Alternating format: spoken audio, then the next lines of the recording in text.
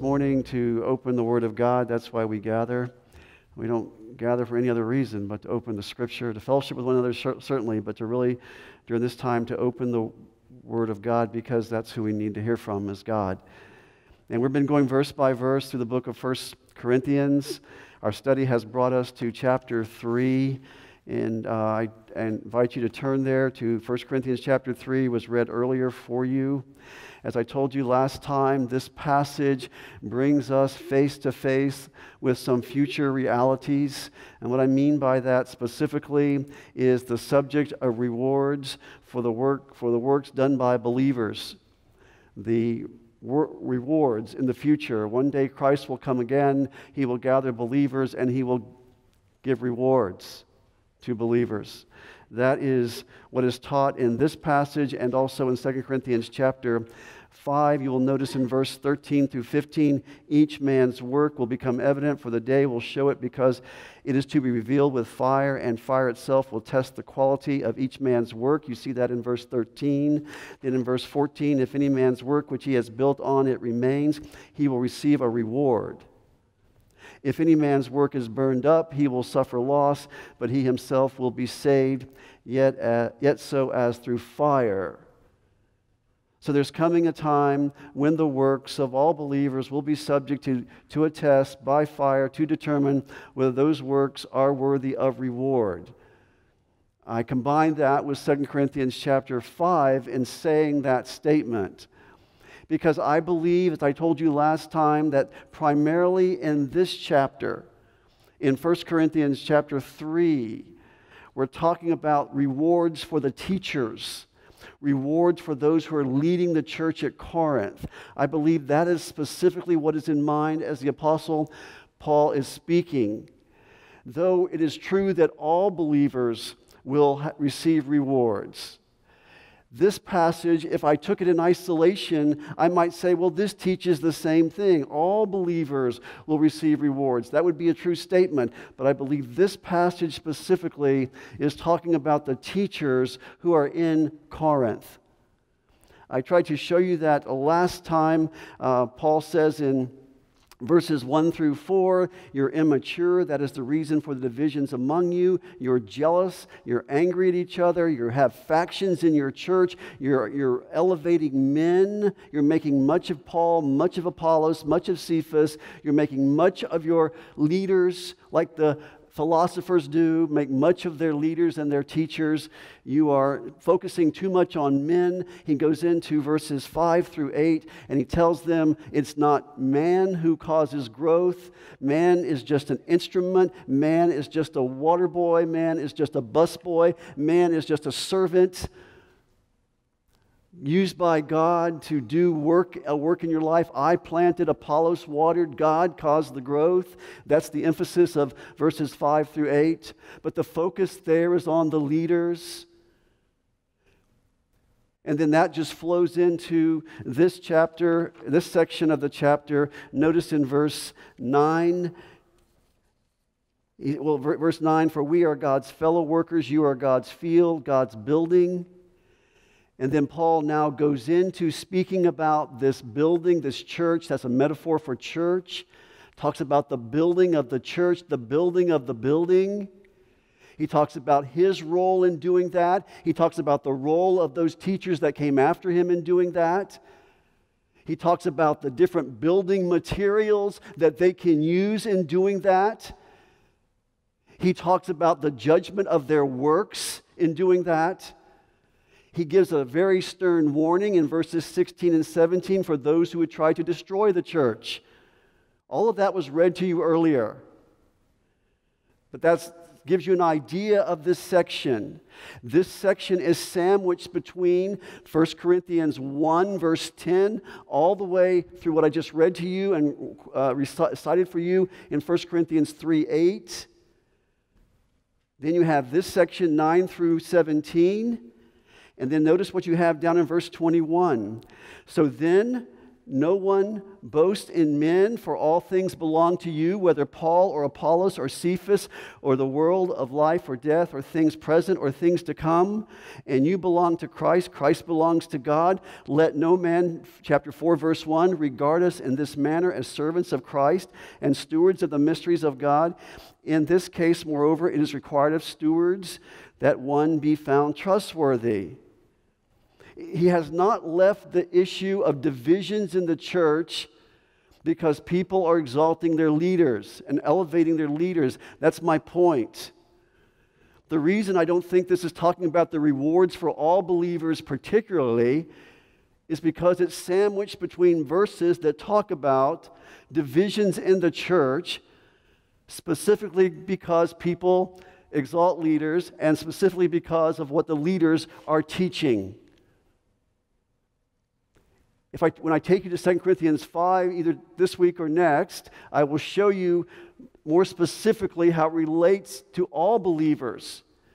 Though I do think anybody that teaches in the church needs to pay heed to what is being said in this section. Because God has given you certain materials to build on the building, to build on the foundation that has been laid in Christ. Notice with me these verses, very important verses. Verse 10 according to the grace of God which was given to.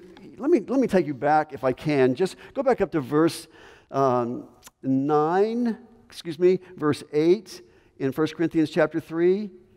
Now, he who plants and he who waters are one, but each will receive his own reward. He introduces this whole subject of rewards in that verse because that's what these verses are about. You've got the planter, you've got the waterers. They're going to receive their own reward. They're one, but they're going to receive their own reward. And so now Paul talking about his role, his role and what he did and his work in the Corinthian church in, in verse chap- in verse 10 of chapter 3, he says, According to the grace of God, which was given to me like a, a wise master builder, I laid a foundation. I laid the foundation. I came to town. I shared the gospel. Five years ago, I did this. I came into the, uh, into the marketplace and preached, and many of you believed, and a church was formed. I laid the foundation. I did the pioneering work in Corinth. I was the general contractor, I had the blueprint. That's the language used there in verse 10. It's all by the grace of God. It's not because of anything special about me. I am what I am by the grace of God. If I did not have God's grace, I would simply be a persecutor and blasphemer. But because of God's grace, I am what I am. He is the one that used me to establish this church. And then he makes a point. He moves to those who are going to come after him, and another is building on it. But each man must be careful how he builds on it. I laid a foundation. Christ is that foundation. The gospel is that foundation. And those who come after me must be careful how they build on this foundation. I don't believe he's talking about Apollos there at this point. He's already said things about Apollos. I think he's talking about the current teachers in Corinth. The current teachers in Corinth that would be somewhat responsible, maybe directly responsible for all this division, for encouraging the things that would promote this division in people. I believe that's who he's referring to in this section. Um, they must be careful how they build on it. And the problems in the Corinthian church are, are a reference to these. Uh, I mean, this is a reference to the current leaders, and that is who he is addressing, warning them of consequences, specifically loss of reward Verse 11 For no man can lay a foundation other than that which is, is laid, which is Jesus Christ. Paul says, I preach nothing but Christ and Him crucified. That's the foundation. If you're going to build on this foundation, Christ being the cornerstone, you better make sure that everything you build with aligns with Christ. Folks, a church that does not have Christ as a foundation is not a church.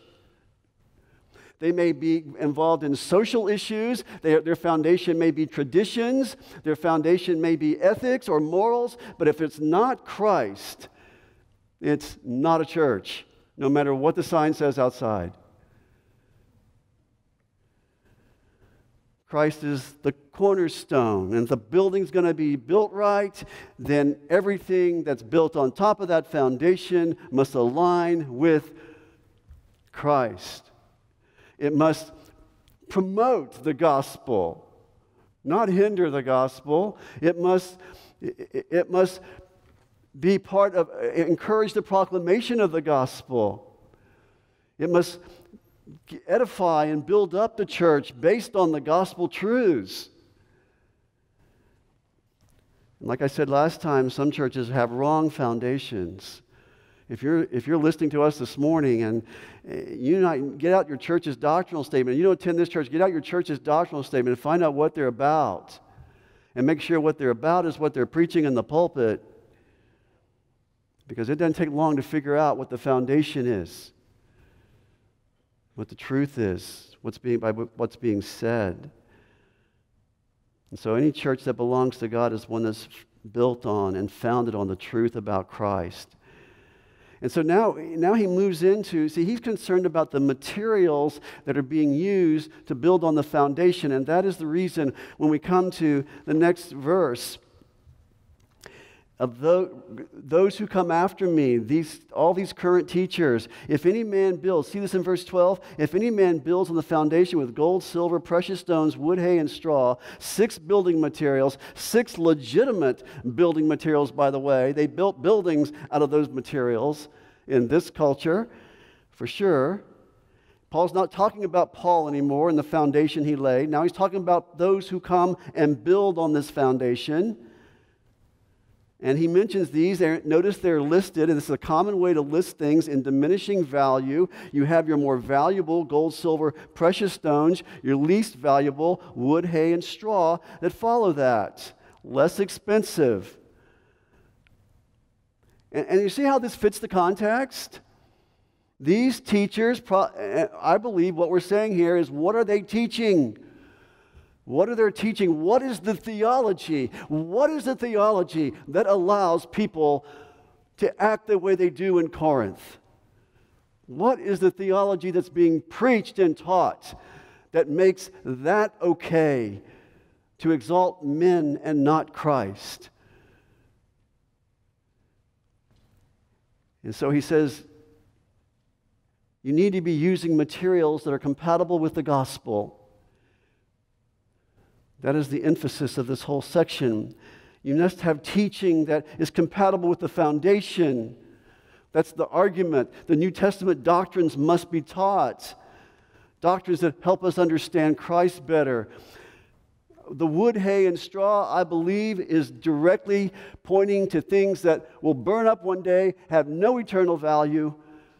Worldly wisdom, that's the context. Worldly wisdom, worldly thinking, philosophies of this age. He's saying, I believe in this context, that's what he's referring to. Is people who promote and teach those kinds of things in the church. And, and, give them equal authority to the Bible, equal authority to what God has said, versus when it's not true. When Paul says the wisdom of this world is foolishness. Foolishness. Even the foolishness of God is wiser than the wisdom of this world. They wanted to mix it. I told you that earlier in the chapter in, in our study. They wanted to mix it together.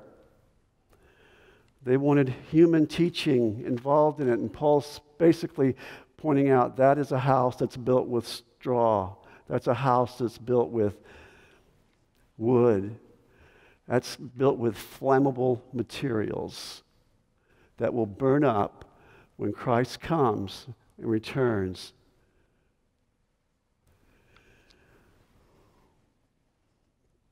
And so Paul said, I came teaching the purity of the gospel. I never talked about all this foolishness.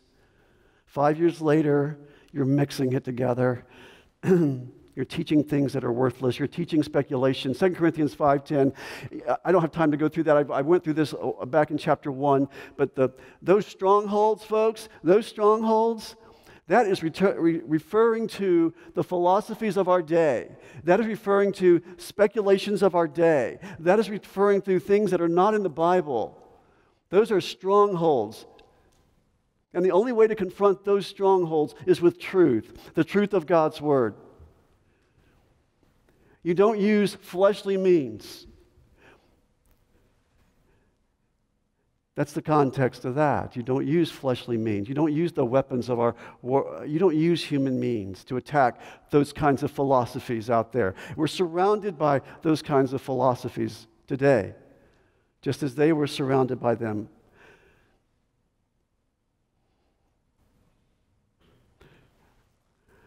I've been reading Al Mohler's new book. The Gathering Storm. He takes that title from when um, Churchill, Churchill's book, when he saw what was happening with Nazis in Germany and all of that. And he uses the same thing called the Gathering Storm.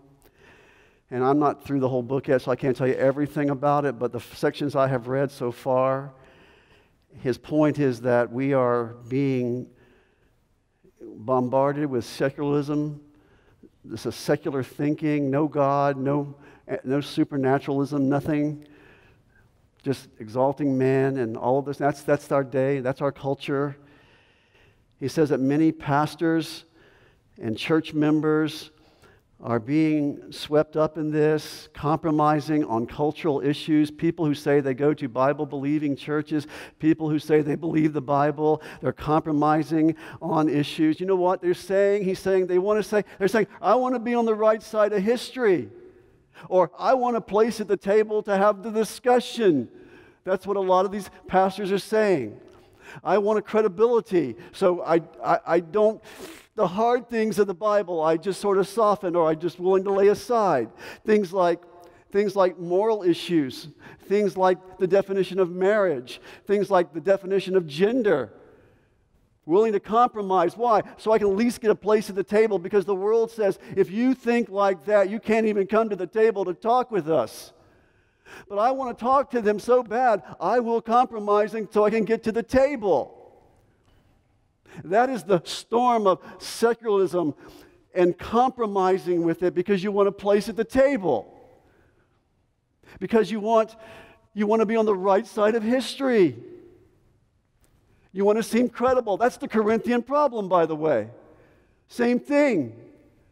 This is what's going on in our culture. You can see it in many churches today, with pastors just giving into that on the authority of the Bible. Well, some of it's from God, or pick and choose. The new thinking of our day is to say, I believe in the inerrancy of Scripture. I believe the Bible is authoritative. I believe that the Bible was written by God. I just don't do everything it says. That is the American Christian. And they're being swallowed up by secular thinking. So they can have a place at the table. They can look credible and sound credible in the eyes of the world. Forget what God thinks of me. What does man think of me? I fear man more than I fear God. That's what you're saying.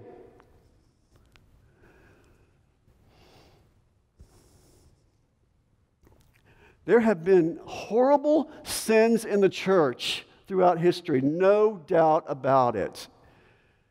No doubt about it. And, and a lot of them have been And one of the biggest has been racial issues. No doubt about that. No doubt about that. And there should be repentance for those things. Oh my goodness. I can't rewrite history. You can't rewrite history. But the answer is the same for then as it is today is the gospel to repent.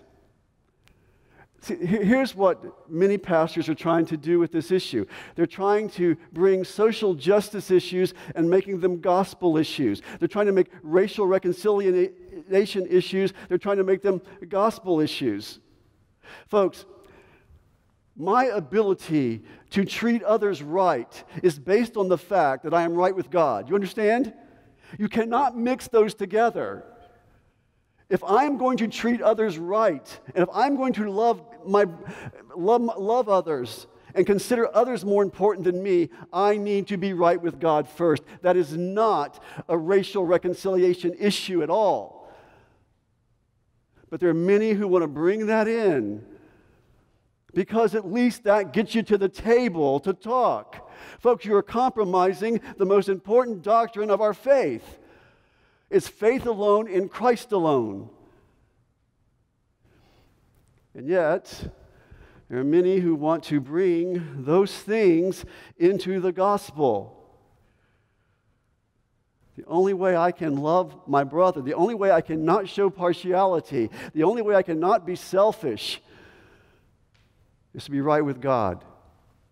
And until I'm at peace with God, I will be at peace with nobody else. And it saddens me. I went to Mendenhall, Mississippi several years ago. John Perkins was a black pastor who started a ministry there in the six, early 60s. I had everybody, before we went on this mission trip, read his biography, great biography of this black pastor. All that he went through, almost killed in, in the middle of Mississippi, you can imagine, all through the 30s and 40s and his upbringing and how horrible that time was in history of our, uh, of our nation. It was terrible reading that book, and it was sad reading that book, and my heart broke reading that book. This man wrote this book. He's a great godly pastor. He started a ministry there in Mendenhall. We were taking a group of young people to that area, to that area to to go and do some ministry there. So Matt Curtis was our intern at the time. He went with me, and we went over there and met with the administrators of that ministry, a, a very kind and black woman and her husband. Uh, we met with them, and I offered to take them to dinner that night in Mendenhall, Mississippi.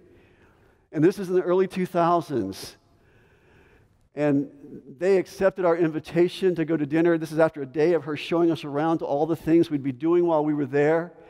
We went to dinner that night, and I walked in, not thinking much about anything. We sat down, talking with each other and, and everything. And uh, this lady, I, I, I, asked him, I said, it must have been really hard from the book and everything, just about the ministry. It must have been very hard growing up in this area. She goes, Oh, you just, it's been terrible. It was terrible.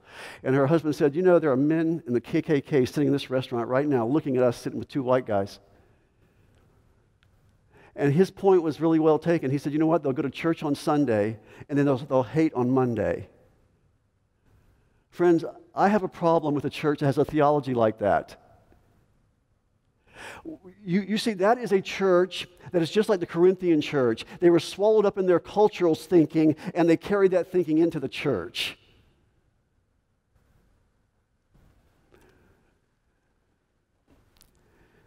Laws are not going to change anything. Tearing down our society is not going to do anything.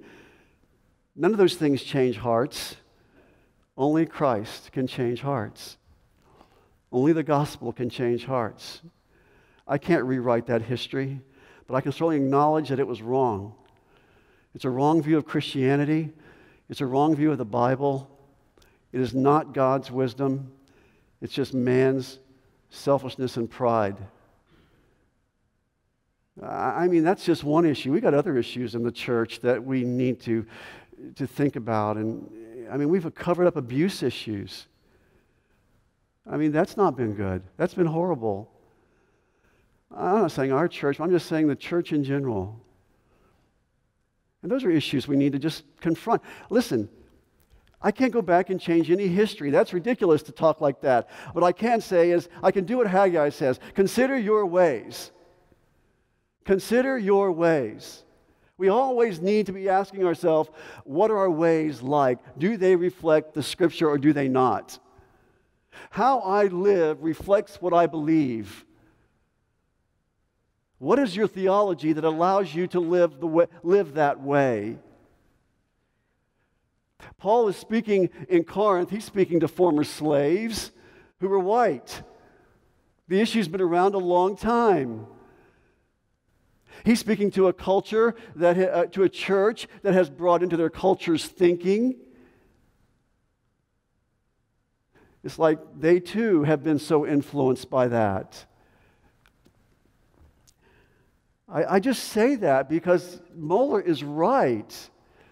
The answer is not us to lock arms with Black Lives Matter. That is an ungodly organization. We have nothing in common with that organization whatsoever.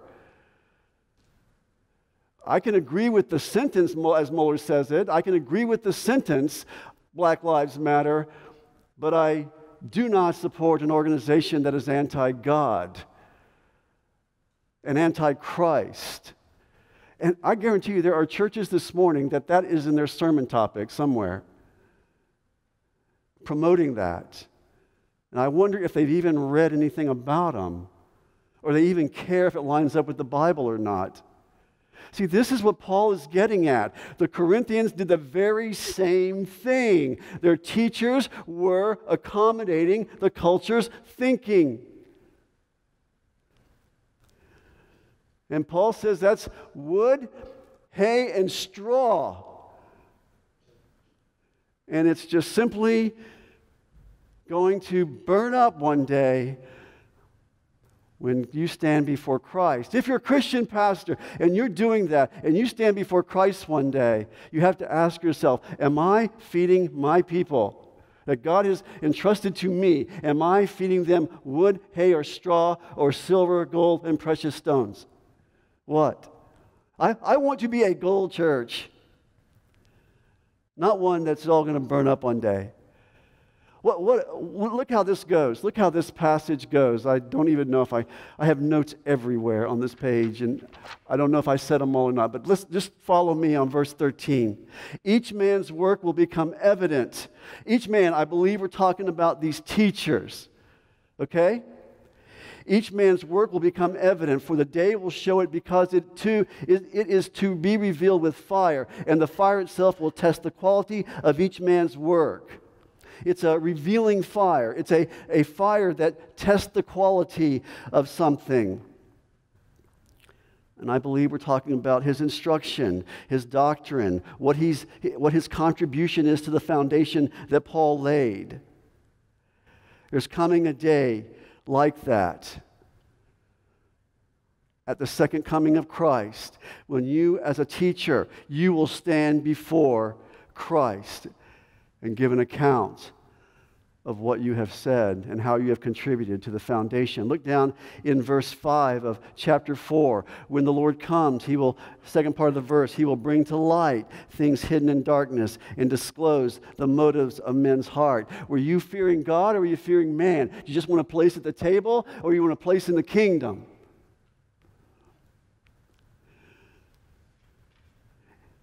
In verse 13, it says, the quali- test the quality of each man's work. Understand, this is not the great white throne judgment, okay? This is not the great white throne judgment where unbelievers are judged. That is not what this is. This is a time of reward. Second Corinthians calls it the Bema seat of Christ. I don't have time to go there this morning. I will get there next time. But the point is, that's a time when all believers will be standing before Christ to be rewarded for works. It is not a time of judgment. It is not a time, it is not a time when you will be held accountable for your sin. You know why? You will not be held accountable for your sin because your sin has already been paid for in Christ. There is no condemnation for those who are in Christ Jesus. You are already a citizen of heaven if you're a Christian. So we're not talking about that. here. Understand that. If you're not a believer, you won't even appear here. You'll be at the great white throne judgment. That's different in the book of Revelation. This is believers. Specifically in this passage, teachers. He says, Will your teaching hold up to inspection? Will it be the right teaching about Christ? Or will it be just your opinions? Will it just be your speculations? Will it just be so you will be popular? Will it be just so you can be an, one who tickles men's ears? If any man's work which he has built on remains, excuse me, if any man's work which he has built on it remains, he'll receive a reward. That's, that's gold, that's silver, that's precious stones. They don't burn up, they're inflammable. The others are flammable.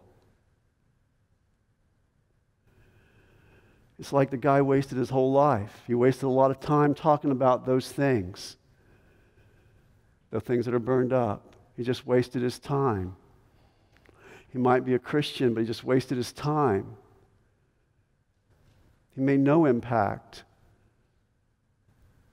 He might have got a place at the table.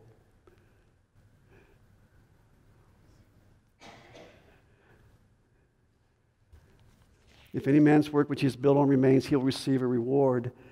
Um, crowns. Paul talks about crowns being given.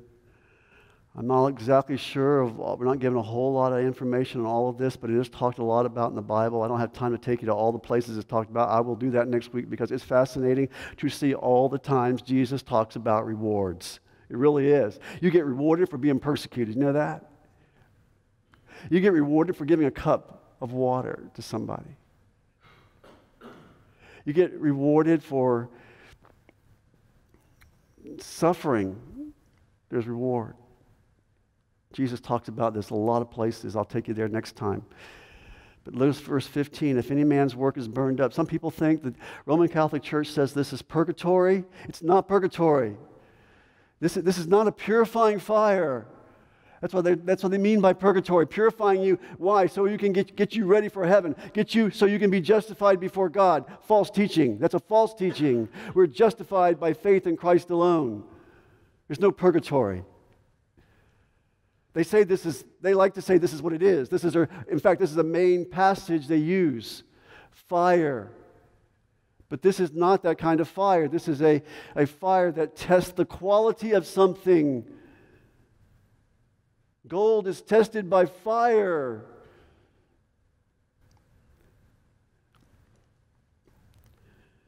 So it's the quality of something. Some you know, some people may get a large crowd and they may have gone through their whole life, but the question is when it was tested by fire and the quality of that ministry, did it really, really help anybody grow in Christ? Did it really do anything for the kingdom of God? Did it do anything to promote the gospel? Did it do anything to build on the foundation and edify believers?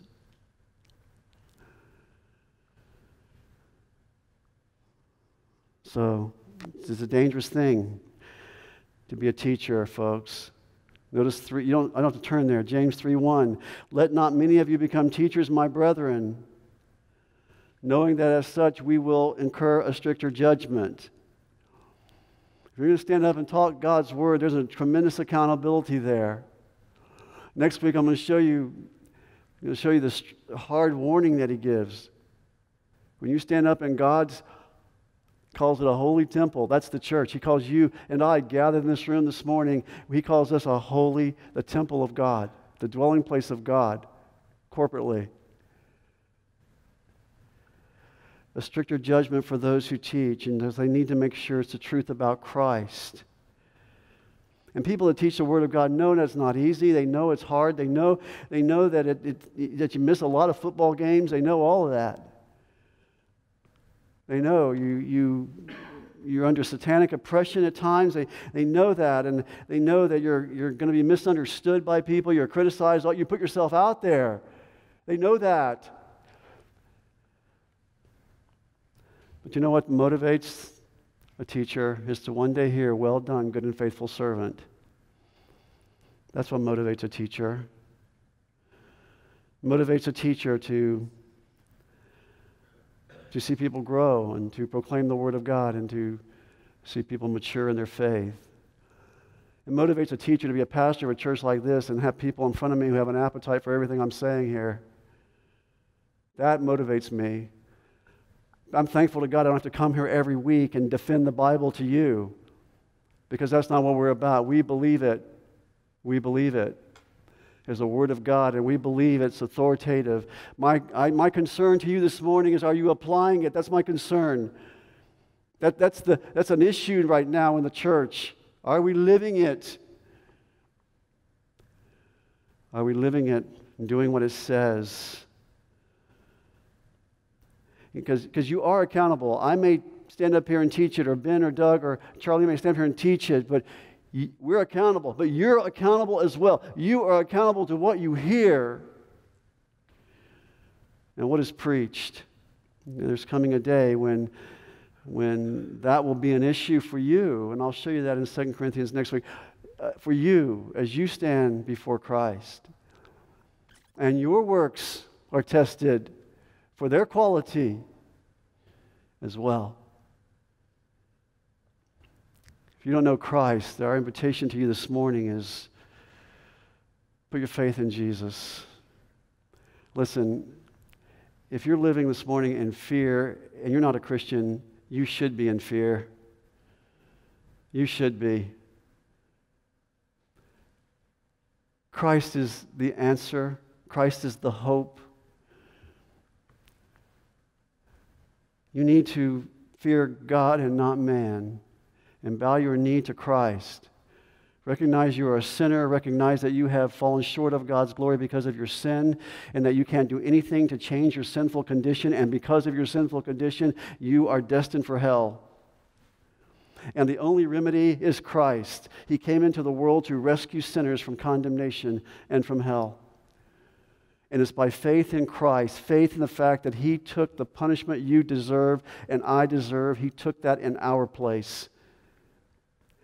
He comes into our lives and changes us and works in us.